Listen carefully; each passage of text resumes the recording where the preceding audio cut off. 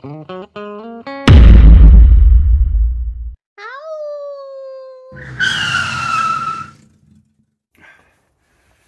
day, good day. So, in the shed today, working on the Triumph. So I'm going to decat it, switch around. So I've gone for the Black Widow. Decat. This is what you get. You get two of them. Just stuff in here. Probably about light, but this down and some exhaust space. Not a clue how these go on, so gonna learn, work it out. So, in with a box, get some stickers. One of these. Same uh, motorcycle exhaust systems. I say it's cost 165 quid for these. Never done one before. We'll be working on the Triumph. So yeah. I guess the first thing is let's get the tools off, get the cat off, then we'll work out how to put all this back on. Take the cat off with a cold start, first start of the morning, minus two.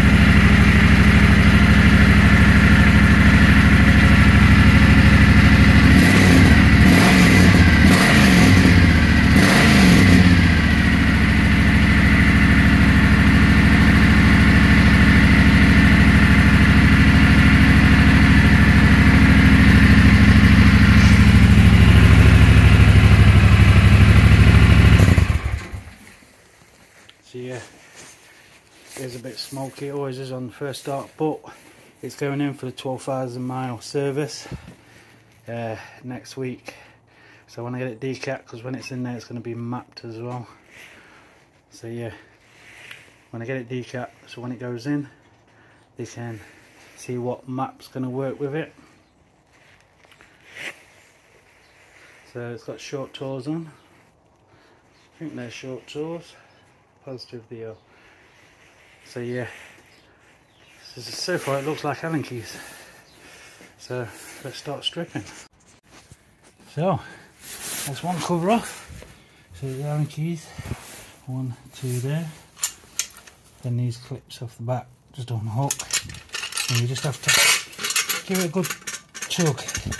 Give it a good tug off. They come off. Then you 13 mil, eh, 12 mil, sorry, bolts here and here. So I'm to loosen these clamps off. Loosen these clamps off here. Then we'll get this back exhaust off here. Then we'll go from there. So, as you can see there, I've knocked the bolts and I tried undoing it. Putting penetrating oil on, but it snapped on one of the brackets. So just undo here there is another 12 mil hose back cannon. So yeah, that should be loose enough to come off now. So we'll give that a good pull and get the back can off. So that's one off. Wow, the pain in the ass that was to get off.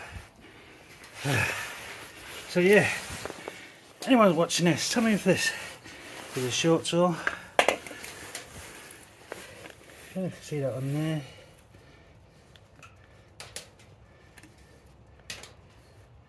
But it says not for road use. It's past the MOT is real man. So I wonder what it's going to sound like when it's decat. Yeah.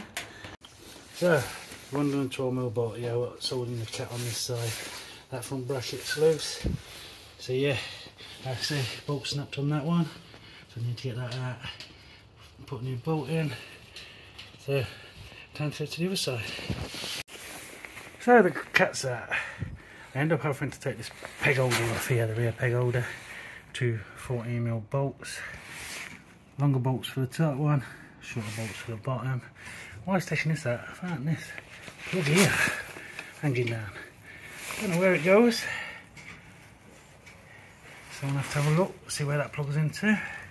bike starts runs alright so I ain't got a clue what that's for but yeah that's the cat out so time to work out where the other pipes go and that crap and where that connector goes. So here we go. So I'm guessing it goes like that. It goes in there like that because this is the thicker bit that goes over that rubber there and that bolts on the other side. Then you've got two springs in here there. What hook up on them so work out what these are for. Yeah. So it looks simple really. Pretty easy. Still can't work out what that connector is. For there. Red and yellow and brown. But uh, never mind. So yeah. Let's get this connected put some paste on exhaust paste stick it in. Get them all clamped up. Alright, so because I've got two snap bolts in my brackets.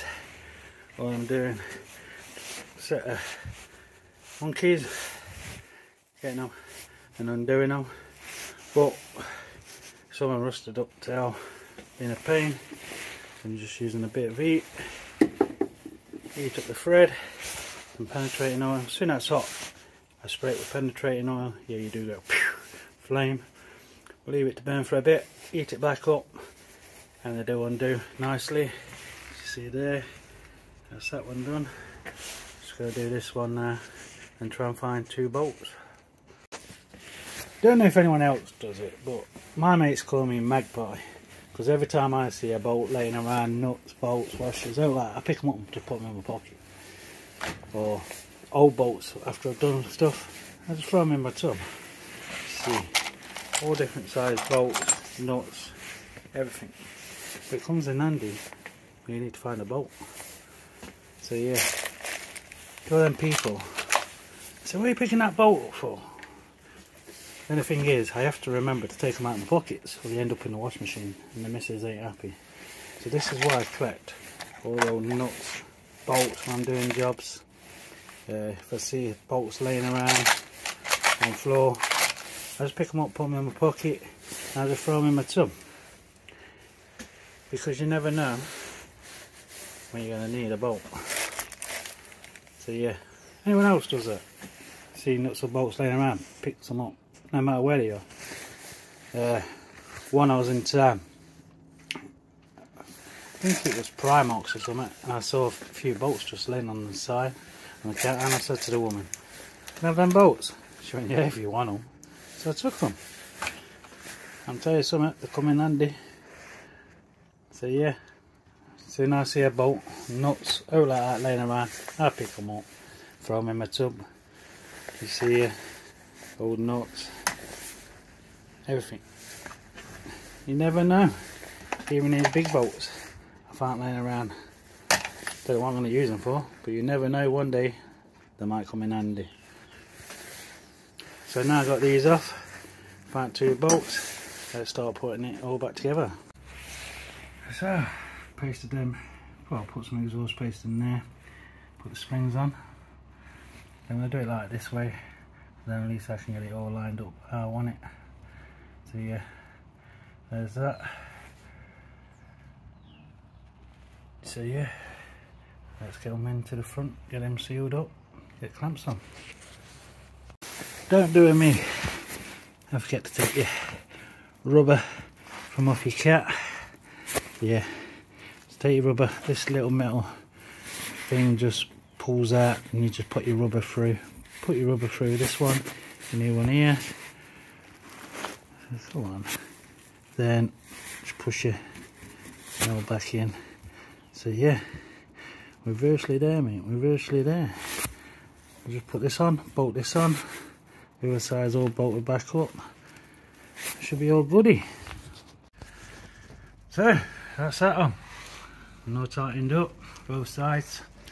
Right when I did this I had to dismantle it again. So yeah as I built it joined them together then try putting it on. Pain in the fucking ass to do. So I dismantled it put the other side on bolted all that on. So all that was bolted on. Then slid this side on slid it in put it on this bolted this back down. There peg bit here. Bolted that back down. So it holded this in. Push that up tight tighten this up. So yeah then put the springs on after. So that's nice and solid now. Time to get the back on. So yeah here we go. There we go. That's that fitted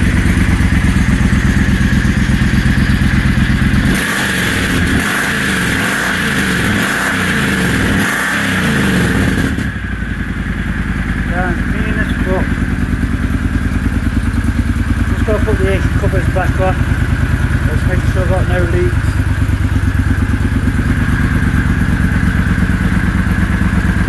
Yeah.